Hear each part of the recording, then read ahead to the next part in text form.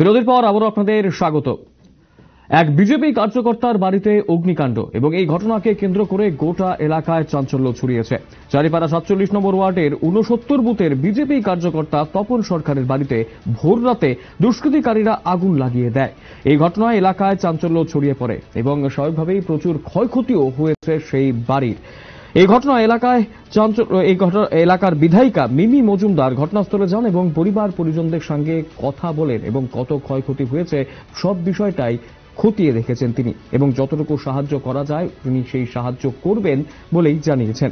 বিধায়িকা মিমি মজুমদার বলেছেন, এই ঘটনার সাথে সিপিআইএম এবং কংগ্রেস জড়িত বলে অভিযোগ করেছেন তিনি। সরাসরি এই গুরুতর অভিযোগ করেছেন বিধায়িকা, সিপিআইএম এবং কংগ্রেস জড়িত বলে। নির্বাচনের প্রাককালে এরকমের ঘটনায় স্বাভাবিকভাবেই গোটা এলাকায় কিন্তু একটা আতঙ্কের পরিবেশও সৃষ্টি হয়েছে। এবং এই মুহূর্তে দাঁড়িয়ে এই ঘটনা অবশ্যই তদন্তাধীন রয়েছে এবং তদন্ত করে আলটিমেটলি কি বেরিয়ে আসে সেদিকেই কিন্তু তাকিয়ে রয়েছে গোটা এলাকার সাধারণ জনগণ। তবে বাড়ির মালিক তপন সরকারের যে প্রভূত ক্ষতি সাধিত হয়েছে তা কিন্তু আর বলার অপেক্ষা রাখে না। বিষয়টাকে কেন্দ্র করে বিধায়িকা সহ অন্যান্যরা কি জানাচ্ছেন, শুনব।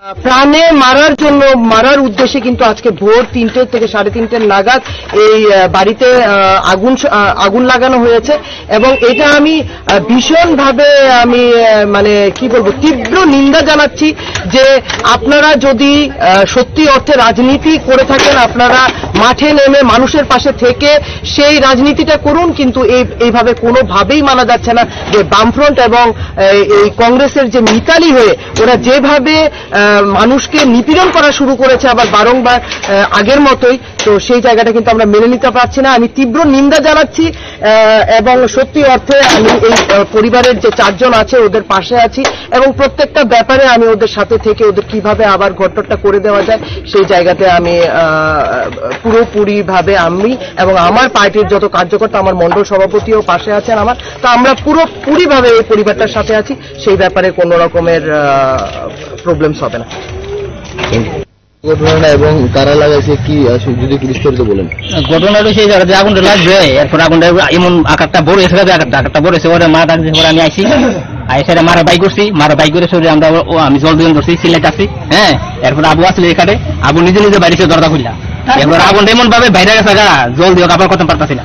এরপরে করানোর পরে সমাজের সব মানুষ আসছে জল টল দিয়া আগুনটা নিবানোর চেষ্টা করতে হবে। কিন্তু কাবার হয়েছে না গেটে কারেন্ট ছিল না সেগুলো দুই তিনটা এবারে দুইবারে দুইটা আমার একটা কাবার করতে পারতেছি না। তারপরে পাড়ার মানুষ আইয়া জল টল দিয়া কাবার করতে পারতেছে না সব কিছু কিনে গেছে গা। এখন নগদ পঞ্চাশ হাজার আসলে এডিও পুরা গেছে অর্ধেক আছে বাহির করো অর্ধেক অর্ধেক টাকা এভাবে সব কিছু করে আছে আর কি। হ্যাঁ।